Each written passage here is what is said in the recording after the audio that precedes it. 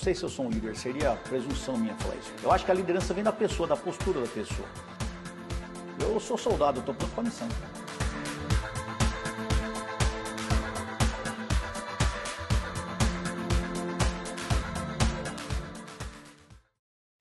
Paulo Adriano Lopes Lucinda Telhada.